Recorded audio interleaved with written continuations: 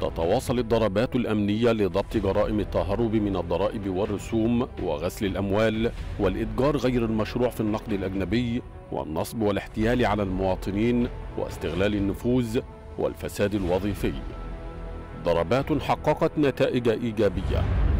فعلى صعيد ضبط جرائم التهرب من الضرائب والرسوم فقد أكدت تحريات الإدارة العامة لمباحث مكافحة التهرب من الضرائب والرسوم قيام الممثل القانوني لإحدى مؤسسات التجارة والتوزيع بالقاهرة بإخفائه خلال فحص إقراراته الضريبية ما يقارب 113 مليون جنيه من أرباح الشركة عن مأمورية الضرائب العامة المختصة بمحاسبته وتم اتخاذ الإجراءات القانونية اللازمة حيال ذلك.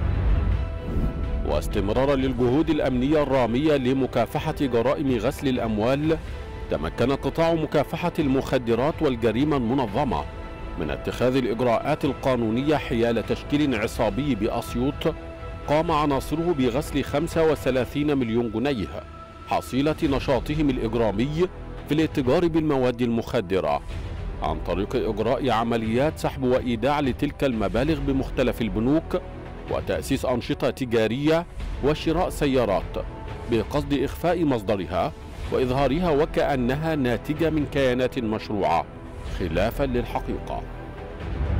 وفي إطار مكافحة جرائم الاختلاس والرشوة واستغلال النفوذ نجحت الإدارة العامة في الأموال العامة في ضبط موظف بأحد مكاتب البريد بسوهاج استغل موقعه الوظيفي وقام بالتلاعب في حسابات دفاتر التوفير الخاصة بالعملاء وتزوير توقيعهم عليها وتمكن من اختلاس مبالغ مالية من حساباتهم وأمكن الحصول على كافة المستندات المؤيدة لذلك.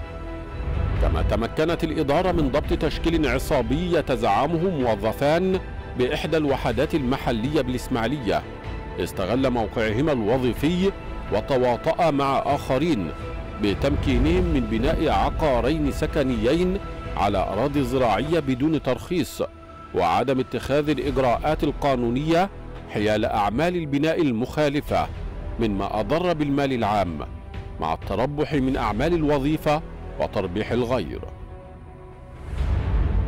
وعلى صعيد التصدي لجرائم النصب والاحتيال على المواطنين تمكنت الإدارة العامة لمباحث الأموال العامة من ضبط شركة بدون ترخيص بالقاهرة اتخذها أحد الأشخاص وكرا لنشاطه الإجرامي في النصب والاحتيال على المواطنين بزعم توفير فرص عمل لهم بمرتبات مجزية بالعديد من الجهات خلافا للحقيقة مقابل حصوله على مبالغ مالية زاعما أنها رسوم إدارية للتعيين وأمكن الحصول على المستندات الدالة على نشاطه الإجرامي بمقر الشركة المشار إليها.